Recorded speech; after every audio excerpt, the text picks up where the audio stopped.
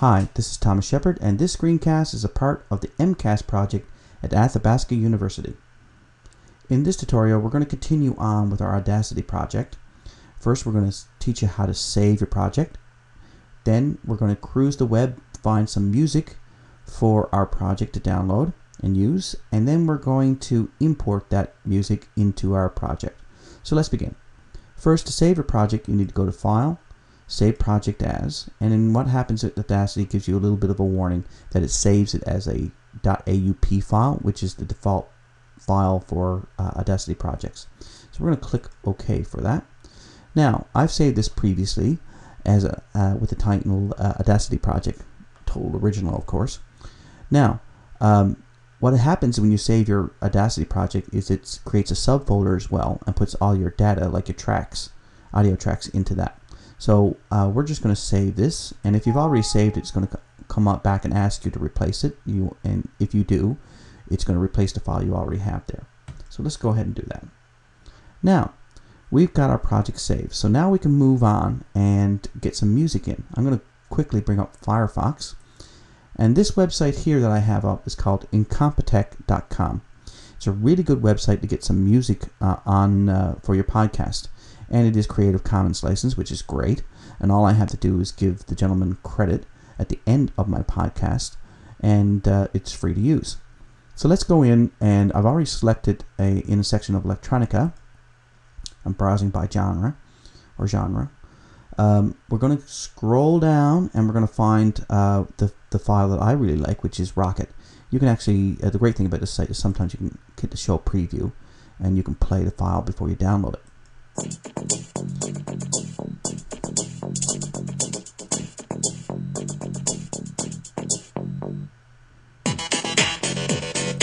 Now, not too bad. I kind of like that one. So what I'm going to do is I'm going to go over here to download link and I want to save it to a particular folder. So when I right click on the, the link, I'm going to go save link as and that allows me to select it to put into a folder. So I've already got a folder called music in my, my project uh, folder and I'm going to save that file there. So I've already got that done. And uh, what I'm going to do is I'm going to go back to my Audacity and uh, project and I'm going to import that audio. To import the audio is very easy you got to go to File, you go to Import, and what it does is it tells you, it gives you several uh, different options, and you just select Audio. You go in, you pick where your music is. I say Open, it processes it, and then it pops it into a separate track. Now, I'm going to take this and I'm going to create my music for my uh, project in it. You might want to notice as well when you scroll up and down that this is a fairly long track. We're not going to use all of it, but uh, when we import something, it just our view, and you'll notice it almost looks like it's zoomed right out on the uh, our tracks here. Let's just play this. It's going to be uh, kind of monotonous right now, but let's play it and see what it looks like. This podcast is a part of the mcast project. So, uh, not too bad. I'm going to re rewind here to the beginning. Hi, this is Thomas Sheppard, and this podcast is a part of the mcast project at Athabasca University. In today's pod. Now, uh, that's not bad, right? We can hear my voice and we can hear the, the sound.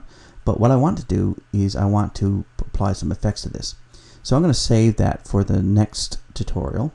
And what I'm going to do in the next tutorial is I'm going to show you how to use that music, how to edit it, and how to add effects. Thank you for listening to this screencast, and if you have any feedback for us, please, by all means, contact us or leave a comment. And uh, what we can do is we'll we'll try and uh, get some feedback and uh, adjust according to the advice we get. So, if you're looking to get in contact with me, uh, my email is tomshepp, T-O-M-S-H-E-P-P, at gmail.com. Thank you for listening and have a great day.